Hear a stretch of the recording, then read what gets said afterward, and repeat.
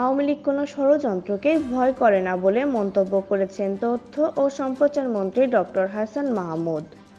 ফলপট্টিতে শান্তি ও উন্নয়ন সমাবেশে তিনি এই মন্তব্য করেন। বিএনপির বিশৃঙ্খলা করলে শিক্ষা দেওয়া হবে জানিয়ে তিনি বলেন, ওরা আমাদের ঘেরাও করার কথা বললে বিশৃঙ্খলা সৃষ্টি করলে জবাব দেয়া হবে। আমরাও বিএনপিকে ঘেরাও দিয়ে শিক্ষা দেব। বিএনপি শুধু আওয়াজ করে উল্লেখ করে বলেন, যেই কুকুর লেজ গুটিয়ে ফেলে সেই কুকুরের আওয়াজ বেশি। বিএনপির আওয়াজ খালি কলসির বেশি বাজার মতো। এ সময় ভিসা নীতি বিষয়ে তিনি বলেন, যারা নির্বাচন বানচাল করবে তাদের জন্য ভিসা নীতি। আওয়ামী লীগ ভিসা নীতি নিয়ে মাথা ঘামায় না।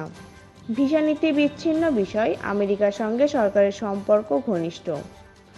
বিএনপি ষড়যন্ত্র সফল হবে না জানিয়ে তিনি আরও বলেন দু হাজার আঠারো সালেও তারা বলেছে সরকারকে টেনে নামিয়ে ফেলবে।